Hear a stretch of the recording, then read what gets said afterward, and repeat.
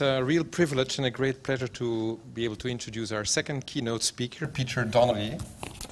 Um, as several of the most influential scientists in our field, Peter is a mathematician by training, specialized in uh, applied probability. He obtained his bachelor's degree at the University of Queensland before moving to Oxford as a Rhodes Scholar. He was elected to a chair at the University of London at the age of 29 becoming one of the youngest professors ever in the UK.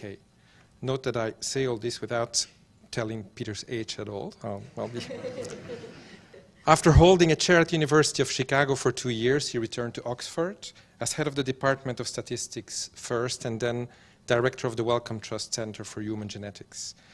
He has made seminal contributions in coalescent theory, DNA evidence, recombination, and many other topics in genetics. However, as we all know, as architect and chairman of the UK Wellcome Trust Case Control Consortium, he has played a key role in setting the standards of genome-wide association studies that have revolutionized uh, medical genomics. Peter has obtained numerous awards, including election into the Royal Society and Academy of Medical Sciences. But I've been told, however, that possibly more than of his academic achievements, Peter is particularly proud of his successes as a rugby uh, player and captain. Peter's legacy in genomics transcends his own scientific contributions. If you are not already aware, you'd be amazed, as I have been, to discover how many of today's most brilliant and influential geneticists he has been the mentor of. Peter, thank you very much for being here today, and the floor is yours.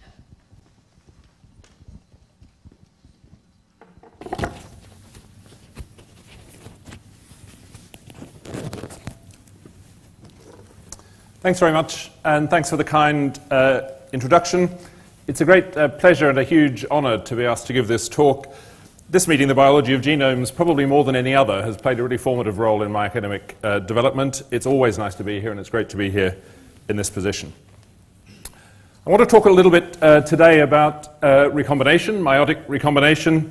I've chosen that topic for a number of reasons. The first is that I think the whole story is really fascinating.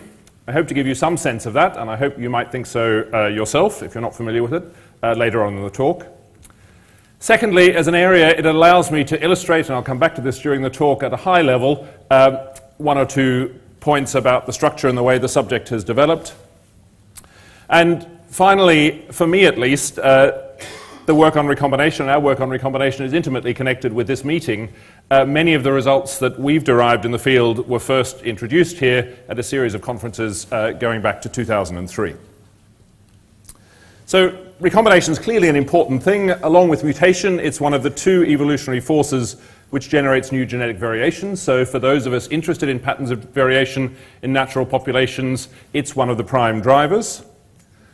But completely separately from that, it's also mechanistically an essential component of meiosis, and the crossovers that recombination creates are essential for correct chromosomal segregation. When they don't work, it results in aneuploidy, which is still the leading cause of pregnancy loss and developmental disorders in humans. And I'll come back to this very briefly later in the talk, but there are versions of, of recombination, so called non allelic recombination, which result in exchanges between different parts of the genome and are responsible for duplication or deletion of relatively large segments of chromosomes. And in turn, those duplications and deletions lead to what have come to be called genomic disorders, dis diseases and conditions like Charcot-Marie tooth, and so on. And there's an intimate connection between those uh, and meiotic recombination. So, although it's incredibly important, it's striking how little we've understood about the mechanisms of recombination. It's an area in which we know rather more now than we did 10 years ago, and I hope to share some of that with you.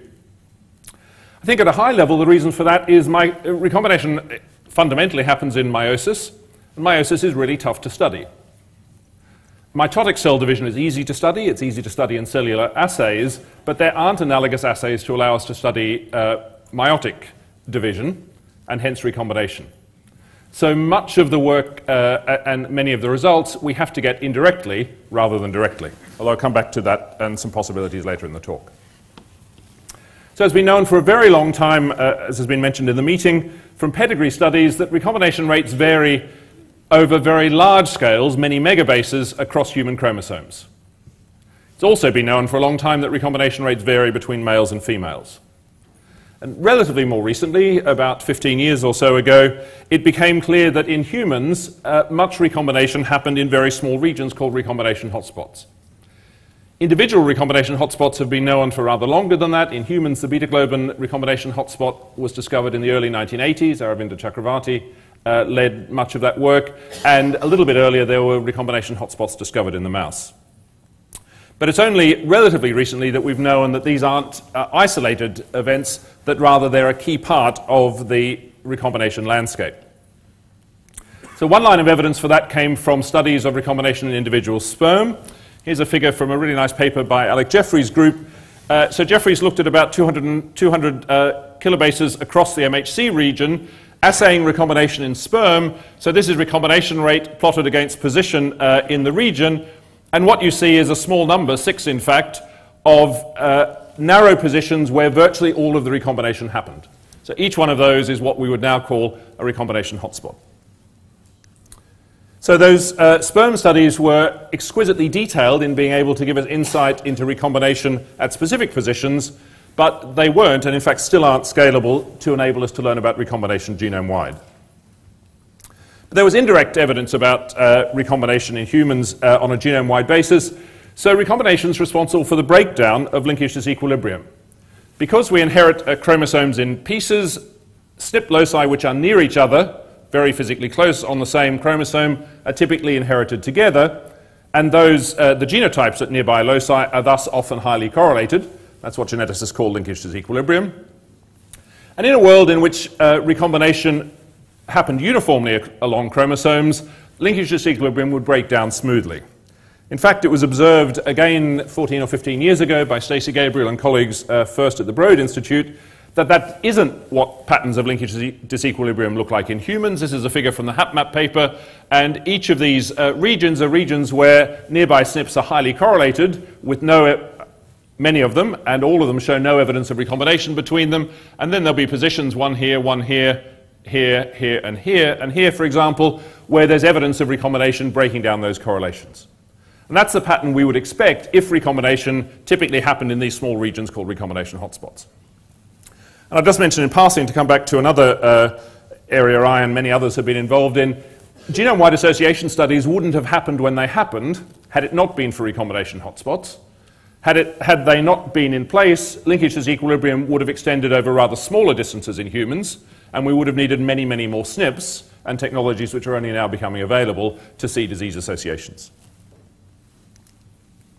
So having said that uh, recombination is responsible for some of the patterns we see, the breakdown of linkage disequilibrium in human populations and, and many other natural populations, the next stage from that, and it's something that uh, we had thought hard about, was the idea of using those patterns of natural variation, using patterns of the breakdown of linkage disequilibrium, to learn about recombination rates. So at a high level, you could imagine having some kind of mathematical model for the way in which populations evolve. Recombination rates would be a parameter in that model. You could then collect data on variation in, for example, human populations, and then try and estimate the parameter in the model. Actually, uh, as you've heard, I'd spent a lot of work, uh, a lot of my early career working on something called the coalescent, which is a particularly nice model for evolution, and then quite a bit of time on working out how to do inference, how to learn about parameters uh, in the context of the coalescent. And it turns out that that's really hard for any substantial scale of data. It's simply not computationally feasible. One knows in principle what to do, but it's not computationally feasible to infer recombination rates in a coalescent framework. So there are a number of uh, routes that have been suggested uh, around this, and broadly speaking, they all amount to approximating the coalescent. The coalescent is itself an approximation. It's one that many of us in the population genetics world have known and loved and studied for many years. It turns out not to be the right tool for analyzing large-scale genomic data. So a lot of progress has been made through approximations. In this context, I'll talk about something called composite likelihood. So it, it's very hard. You can imagine a local region of a chromosome with SNP data. There are complicated correlation patterns between those across the different individuals. The breakdown in that correlation is where uh, there's evidence for recombination. That's hard to model directly. It's just possible to do that if you confine attention to a pair of SNPs. in a set of individuals. So the idea behind this approximation is that you analyze each pair of SNPs as if they are independent. They're not, it's a very gross assumption, but it turns out that there's still enough information in the data, even with this assumption, to be able to give reliable estimate, estimates of recombination rates. So I, worked with Gil McVean, who developed a program and an algorithm called LDhat for estimating recombination rates at fine scales, and with, we both worked with Simon Myers, uh, who developed the package to infer the presence or absence of recombination hotspots. So you can test these kinds of mathematical methods in a number of ways. The standard one is to simulate data when you know what the answer is, apply the new statistical method and check that you get something like the truth, which you know because you're simulating from it. Uh, we did that and it was encouraging. And the other possibility is to apply it to real data. So here's the picture I showed earlier of uh, the data from Alec Jeffreys' estimates from single sperm of recombination rates in this region in the MHC. And that was the answer when we applied the population-based methods. So it's one example, and it's one of the high-level points I want to make, where even though we've had to make fairly gross approximations in the mathematics and in the statistical analyses, there's still enough information in genomic data to be able to learn about key biological processes. So that's estimation over a small region of um, chromosome 6. We were able, when genome-wide variation data became available, to apply these methods uh, genome-wide. Here's a picture of recombination rates at a fine scale on human chromosome 12. You may not be able to see it very well, but there's a red line, uh, a relatively smooth, smooth red line at the bottom of the picture that's what we had known previously about recombination rates from pedigree studies. So there's a much, much richer pattern of fine-scale variation than we had previously thought. We were able to identify more than 30,000 recombination hotspots across the human genome, able to show that recombination occurred preferentially outside genes, uh, and also by various indirect methods to show that the landscape of recombination, fine-scale recombination in females, was broadly similar to that in males. Having identified many recombination hotspots, not with absolute precision, not with the precision of the sperm studies, but still many of them with reasonable precision, a natural next step was to see whether there was a sequence motif that was responsible for the location of hotspots. Uh, and in a series of papers uh, led by Simon Myers, we identified this is a version of the 13 base pair degenerate motif, uh, CC almost anything, CCCT, uh, there's degeneracy here, and then CCAC broadly. Here's uh, data, if you look at instances of the exact motif, or, or, exact subject to the degeneracy, in the genome recombination rates around those regions are very ele elevated. If you make uh, one change, you still see some elevation in rates, and if you look elsewhere in the genome or, or make more substantial changes, you, you don't see that kind of peak in recombination rates. The action of the motif, or the motif being important, was confirmed in a number of different ways. Fortuitously, uh, one of the hotspots that Alec Jeffreys and colleagues had studied uh, involved a mutation, so that the, the, patterns of human variation in the individuals that he studied in sperm studies uh, involved a mutation in the middle of the motif, and he was able to show, actually before we knew about the motif, but he was able to show that the presence of that motif uh, disrupted and substantially reduced recombination rates. We saw that the motif is active on different genomic backgrounds and rather more active on some particular backgrounds. And the motif itself turns out to be uh, associated with a number of the genomic disorders I was talking about. So one of these is Charcot-Marie Tooth, uh, where non-allelic homologous recombination occurs, where a fairly large chunk of a particular chromosome is either duplicated or deleted. It turns out that the breakpoints for that um, for those deletions and uh, mutation, uh, for those deletions and um, duplications, those breakpoints for many of the genomic disorders are substantially enriched in this motif. And in fact, subsequent work uh, by Alec Jeffreys confirmed that it's a key part of the story, and that individuals uh, where recombination happens at other motifs don't tend to have, sperm, because he was studying um, sperm still, don't have, tend to have sperm with those duplications and deletions a side part of the story, again related to this uh, meeting, I think uh, announced here in 2004, was work uh, from Molly's group and a collaboration that we had with David Altshuler's group, which showed that, again, by looking at variation data in, in a small number of regions in the genome, that chimpanzees had recombination hotspots, but that they occurred in completely different positions from human hotspots. So that at the time was very surprising. We now understand why that's true. But at the time it was extremely surprising because sequence similarity uh, is very similar between humans and chimpanzees. Here was some fundamental biological force that somehow was being directed to different places. I'll digress a little bit because it's a key part of the story to tell you about something called the hotspot paradox. So again, in, in work from Alec Jeffreys' lab, there were some individuals who had, so here's part of the motif, uh, we had seen who had a mutation which disrupted the motif in this position. And Jeffreys had seen that where recombination events occurred, instead of the usual Mendelian segregation, 50% of uh, gametes getting this variant and 50% getting that variant, where recombination occurred, there was very substantial overtransmission of this version, the version which stops recombination from happening.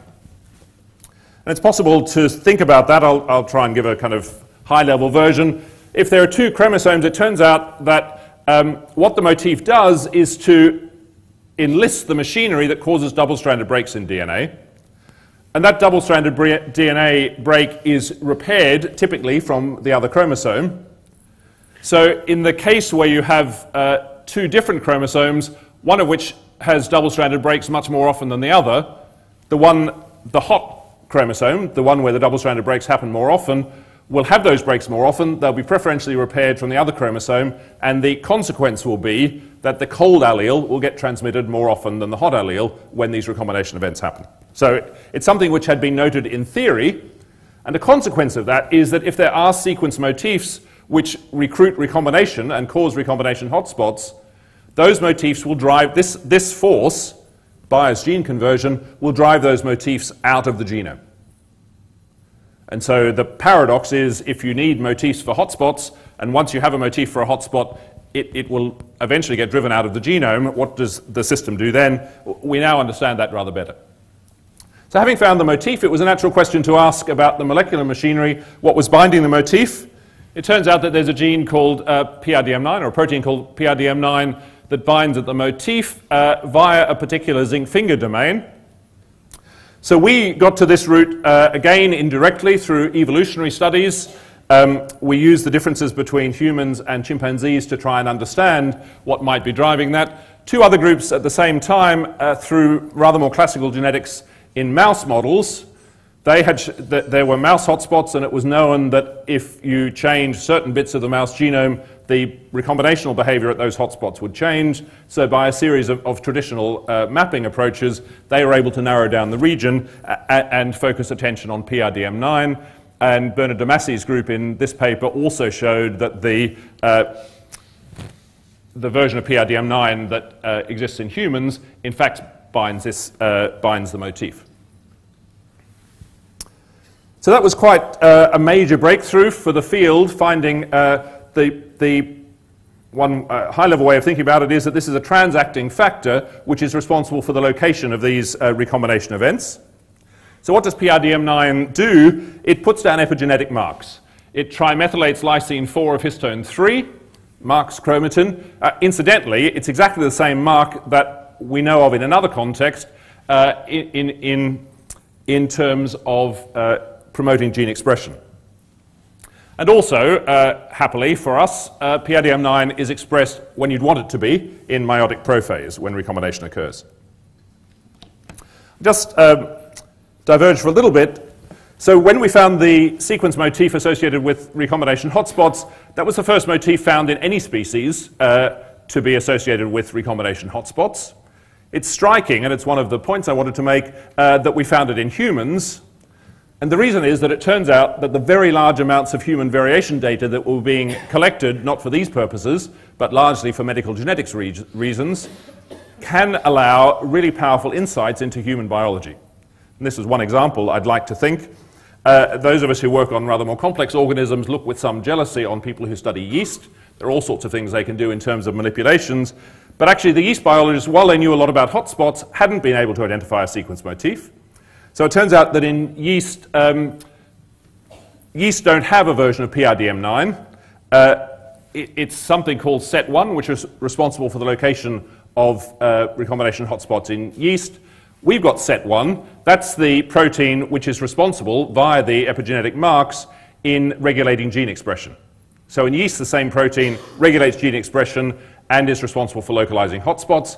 In humans, we've got two separate proteins, humans and mammals. There are two separate proteins. And one hypothesis is that the whole point of PRDM9 is to move recombination of events away from the epigenetic marks that are responsible for promoters. And because SET1 in yeast is not a zinc finger protein, uh, there isn't a binding to DNA, and so there isn't a DNA motif in yeast. Turns out, uh, aside from its role in recombination, PRDM9 is interesting for a number of other reasons. Uh, it turns out that in, and I'll come back to this, uh, in mouse, uh, PRDM9 knockouts are infertile and they fail to repair double-stranded breaks.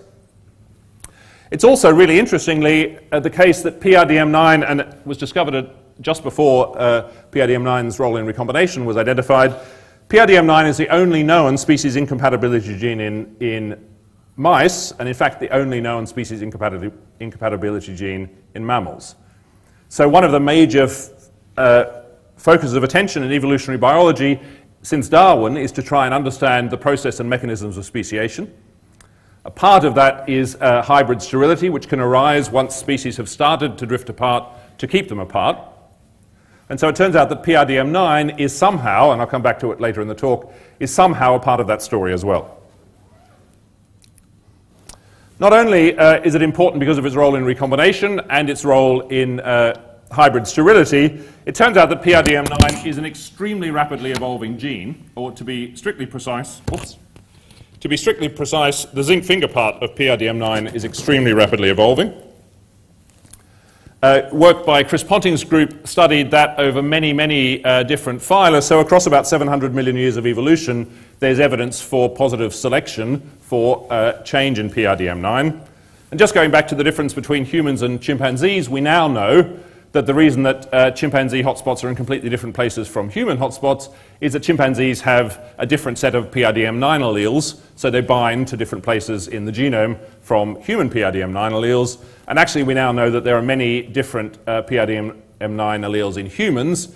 Caucasians have one, in fact, two very common alleles, but in uh, humans with uh, African ancestry, there are a range of different alleles.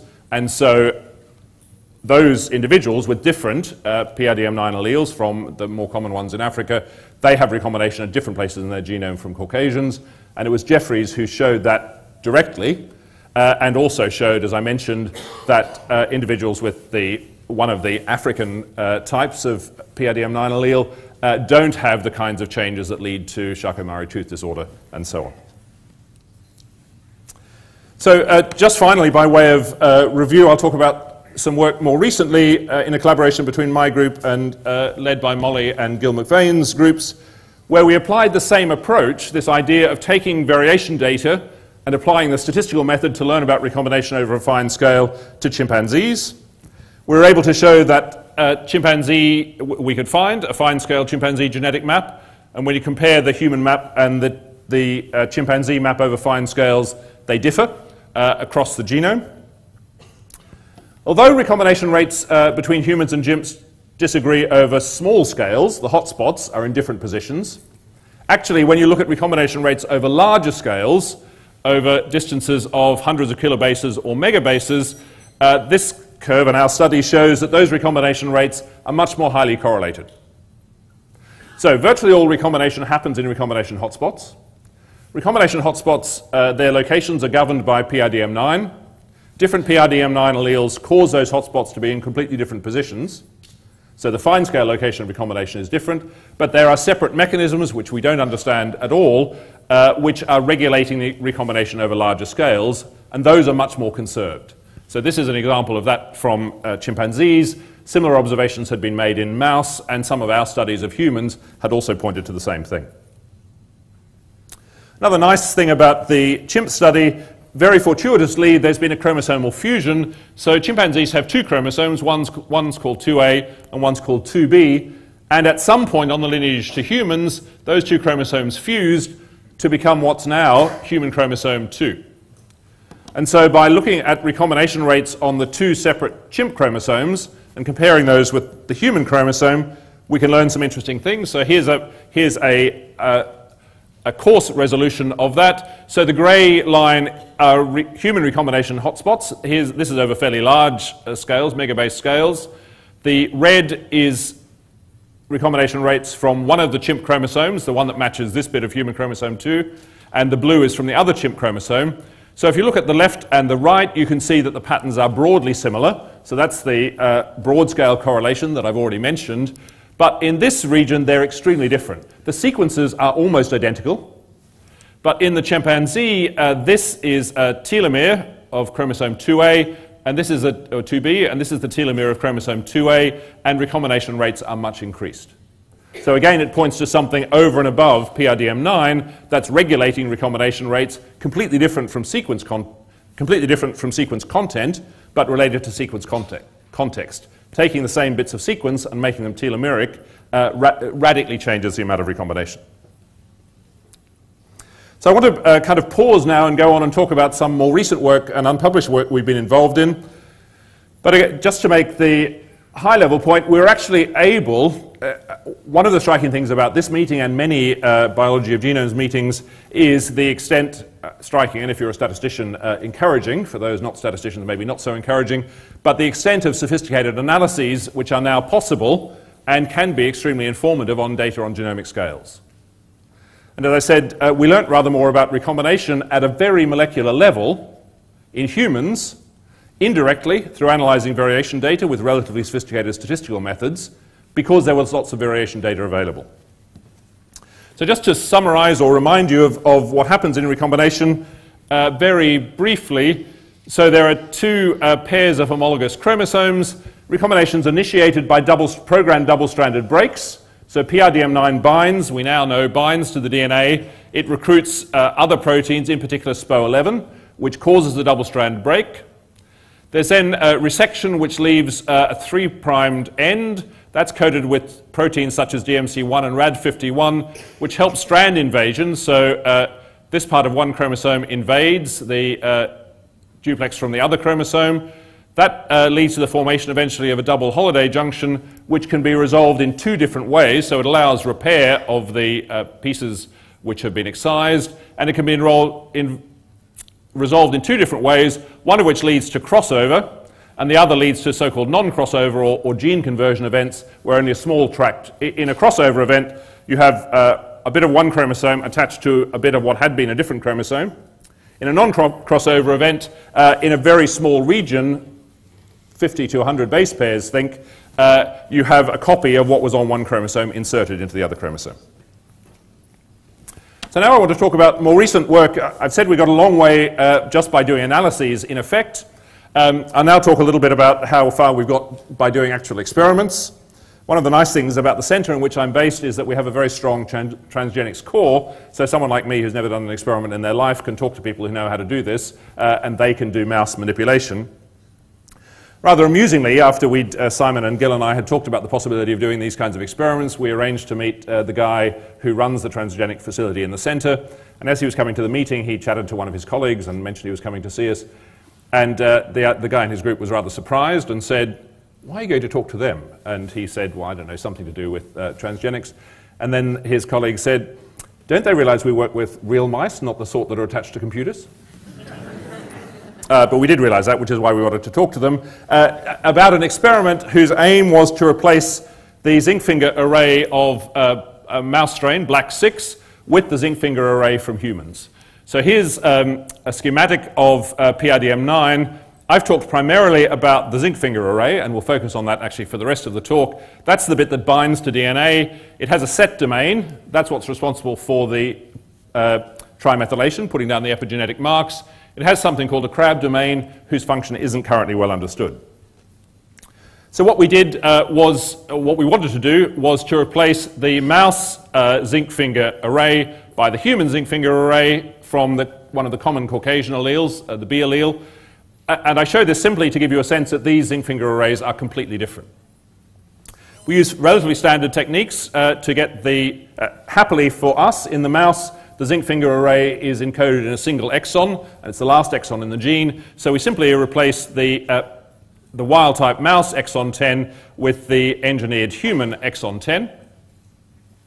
There are various natural things you'd want to check uh, to make sure that nothing had gone horribly wrong. So in our humanized mouse, uh, PRDM9 was still expressed as much as it should have been, uh, and you see expression of both the mouse allele and the human version of the protein.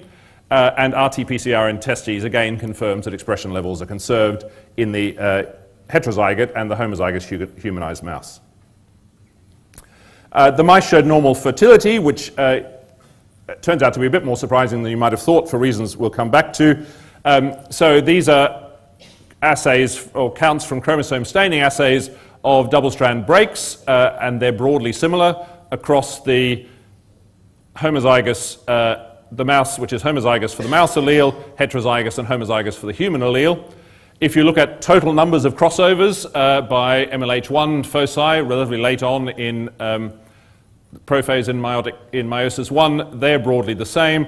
And actually, if you look at stains of, so this is phosphorylation of one of the histones, H2AX, that's a mark of double strand breaks. So late on, and I'll show you some pictures where this goes wrong uh, later, but later on you see only a small number of unresolved uh, double strand breaks, except for uh, the region around the X and Y chromosomes, the so-called sex body. So all again, the um, heterozygous and homozygous uh, humanized mouse are looking as they should in terms of the mechanics working well. So having made the mouse, we'd like to learn about how recombination might be changed and what happens to hotspots. So it turns out that there's currently no straightforward way to assay recombination in a, in a genome-wide high-throughput way. It's not possible to assay, uh, uh, um, assay, recombination, so crossover events in that way. It turns out, thanks to really uh, nice assays developed by Galina Petukhova, um, that you can assay double-strand breaks. So they've developed a technique which is in effect ChIP-seq, but you have to work rather harder than ordinary ChIP-seq uh, for DMC1. Remember I said that uh, DMC1 is the protein which coats these single-stranded ends. And so the ChIP-seq technique uh, specifically focuses on these uh, bits of DNA, single-stranded DNA, uh, coated with DMC1. Here's a picture from uh, an IGV view of the ChIP-seq data. So these are in a sample uh, around a double-stranded break. This is one of the strands, the positive strand and the negative strand. And what you see are ChIP-seq peaks, which aren't quite symmetrical. And the reason they're not quite symmetrical is because these uh, single-stranded pieces are not in the same position. They're offset from each other, as we'd expect. Uh, these two uh, tracks are a control sample where you get some binding of um, through the ChIP-seq, but nothing at the same kind of level. So we developed a statistical algorithm to call peaks here. I won't go into it in any detail, but in effect you want to compare a model where the, the left, the center, and the right on the two tracks uh, are just showing background. You can estimate the relevant parameters in that model, with a different model where uh, on the positive strand you see uh, reads in the center and to the left, but not to the right, and in the negative strand in the center and to the right, but not to the left. And again, you can estimate uh, parameters and do something like a likelihood ratio test to test for the presence of a, a double-stranded break hotspot. Well, we saw lots of them. Um, these are just counts of the numbers of detected, uh, according to some threshold, uh, DSB hotspots. In uh, the wild-type mouse, we actually had one, this is our sample of the wild-type mouse, and there was some other data from uh, earlier work in the Camerini lab of another wild-type mouse, which, because the read depth was more, there was more detection uh, in one version of the human homozygote and two versions of the heterozygote. So large numbers of double-stranded breaks were discovered. What's the relationship between hotspots for double-stranded breaks and hotspots for crossing over? Well, we don't quite know. As I said, some double-stranded breaks are resolved as crossover events, some are resolved as gene conversion. But uh, a number of lines of evidence suggest that DSB hotspots, double-stranded break hotspots, occur in the same positions as crossover hotspots. So we would be expecting that by looking at double-stranded breaks, we'd be learning something similar to what we would be able to see had we been able to assay uh, crossovers per se. So what happens in the humanized mouse? Uh, there were lots of double-stranded breaks. They're all, or virtually all of them, 98.6% um, of them, are in positions which are distinct from the positions of the double-stranded break in the mouse hotspots. well, these are all in mice, but in the mouse that has the wild type, P, wild type PRDM9 allele compared to the mouse that has the uh, humanized allele. You can take the humanized uh, hotspots and do a standard motif search to see whether there's a DNA sequence motif enriched in the hotspots, and there is, and actually it really closely matches the one that we know that the human allele binds to and had found earlier. And if you do the same thing in the mouse, you find a motif for the mouse uh, which matches uh, an, an, earlier discovered and identified motif. If you look for enrichment, uh, so this is enrichment of the human motif uh, in human hotspots, and you see an enrichment, but not in mouse hotspots, and you see an enrichment of the mouse motif in mouse hotspots, but not human hotspots. If you look at the mouse double-stranded break hotspots that we and, and the Camerini lab had found, and you compare those with the locations from ENCODE of H3, K4, ME3 trimethyl marks, they overlap uh, as you'd expect them to, but there's no overlap with the locations of the humanized DSB hotspots, nor is there overlap with uh, the trimethyl marks in any of the other tissues that ENCODE studied. And as we found uh, for recombination rates, there are correlations between, although the humanized hotspots and the mouse DSB hotspots are in completely different positions, so at fine scales, DSBs are happening in different places. When you aggregate the heat of those DSBs over larger scales, you see correlations, as we had in chimpanzees, in humans, and others had in the mouse. So that was encouraging. Uh, the humanized mouse kind of worked uh, mechanistically. The hotspots were where we would have hoped and guessed they would be. They moved to positions that matched the humanized motif. Uh, the comparisons I've shown so far are a mouse homozygote with a human homozygote. What happens when you look in the heterozygote? Well, it turns out there's something interesting. You might expect that in the heterozygous mouse, some of the hotspots would be where they were in the wild type mouse, and some would be where they were in the humanized mouse. Well, that's broadly true, but it's not true in a 50 50 way. And in fact, about two thirds of the hotspots above a certain threshold in the heterozygous mouse match the humanized hotspots, and only about a quarter of them match the hotspots in the mouse. So there's some kind of dominance going on. And in fact, that's more extreme at hotter hotspots. So at uh, the most uh, extreme hotspots, the ones that cause most double stranded breaks, the dominance is even higher. Uh, there's a much higher proportion of human hotspots than there are of mouse hotspots. So this picture, the red dots in this picture, each one of the red dots is one of those uh, DSB hotspots we see in the humanized mouse, and the graph compares its heat in the heterozygous with its heat in the homozygous mouse. And what you see is almost a, a straight line, y equals x, but a slope slightly bigger than 1, which says that for a typical hotspot in the humanized mouse, it tends to be a little bit hotter in the heterozygous mouse. But in contrast, these are the hotspots in the wild type mouse, those hotspots are substantially colder in the heterozygous mouse, uh, with the exception of some of the uh, most extreme ones. So what might be going on in terms of the dominance? There are two sorts of things that might be relevant here. One of them is that it might be that the humanized allele is just binding better to DNA. It, it may bind better to its recognition sequence than the mouse motif does to its. And the other one is that it may be the case, and in fact is the case, that there are many more motifs for the human allele in the mouse genome than there are for the mouse allele. That's not unrelated to the hotspot paradox. Uh, what the hotspot paradox does is it depletes from a genome uh, motifs associated with PRDM9 alleles. So I'll finish just by talking about, uh, the, coming back to the hybrid sterility I talked about earlier.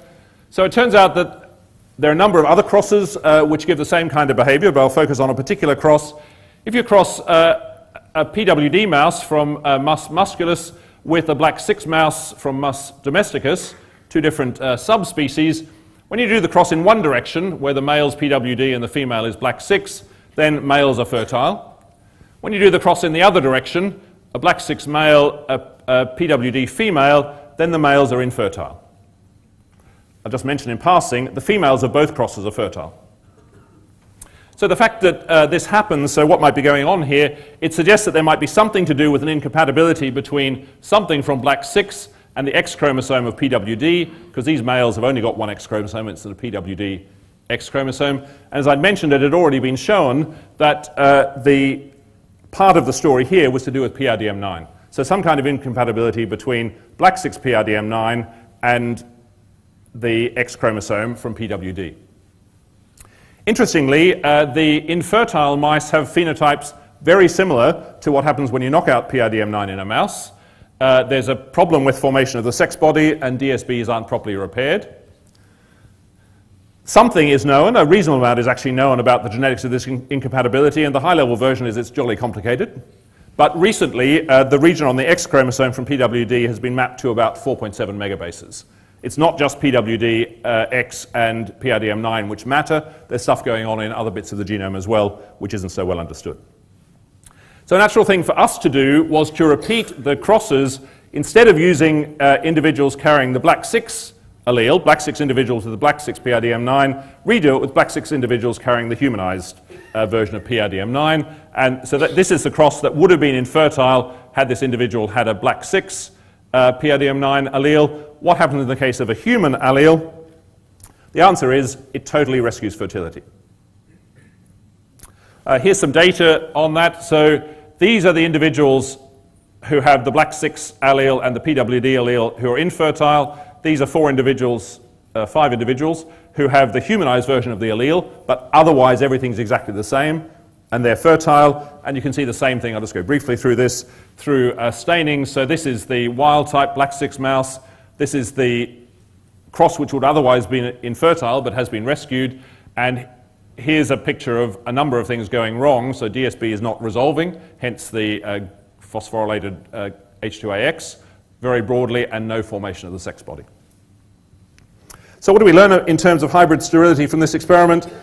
The first is the only thing we've done is to change the binding part of PRDM9.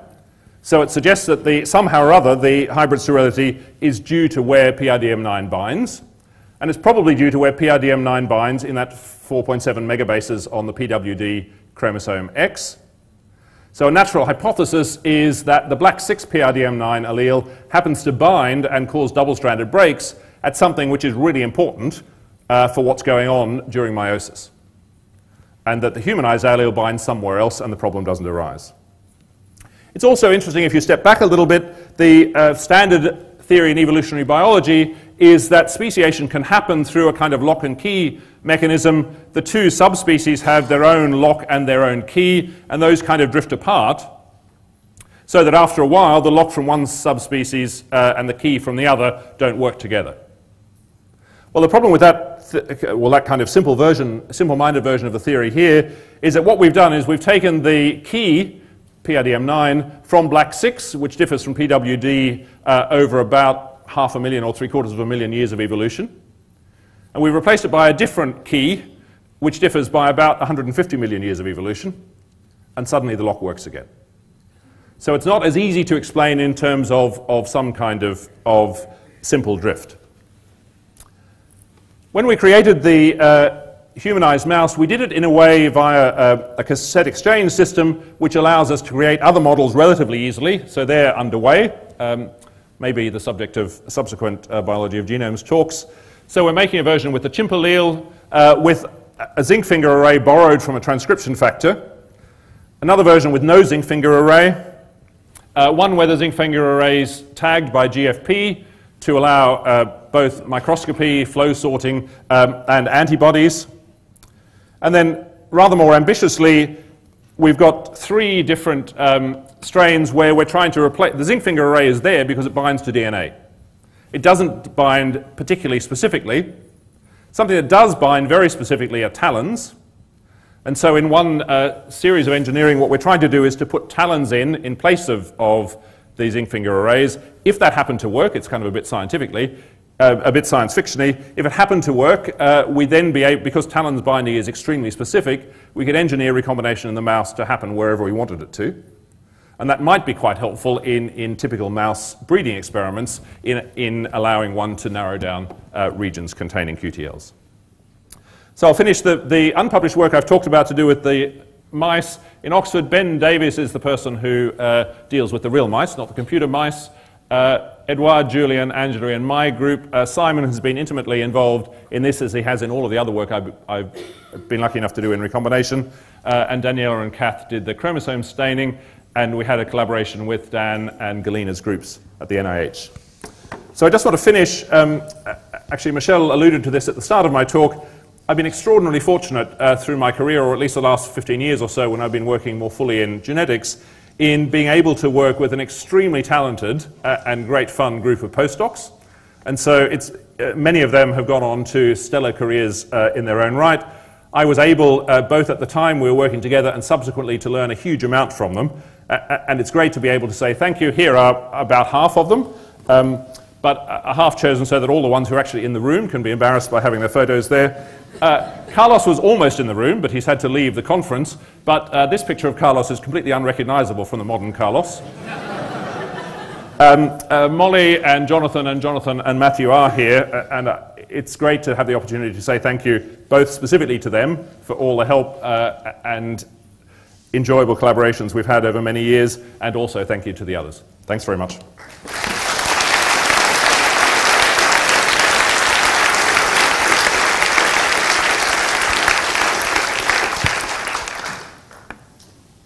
Just time for two questions.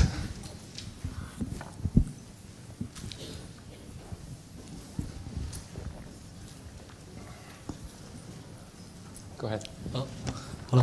Uh, I have a question about the uh, PRDM9 allele B. Uh, as I remember correctly, the uh, PRDM9 uh, allele A is the major allele in the human. So why would you still choose allele B to replacement? Yeah, very good question. Um, I'd love there to be some incredibly sophisticated answer as to why we chose allele B rather than uh, allele A. They're extremely similar and they bind to the same motif. It just happened that in designing the, um, the exon to be inserted, uh, he chose allele B rather than allele A. So it wasn't a, a deliberate choice. We, we don't think it'll make any difference because the binding properties are the same for the two alleles. So I was, I was curious, how, how, does the hotspot paradox resolve then? Is this just driving the evolution of new PRDM9 alleles? Yeah, good question, and I should have uh, brought that out on the way through. So uh, the hotspot paradox says that if you have a motif uh, which is responsible for the location of hotspots, evolution will tend to drive that motif out of the genome.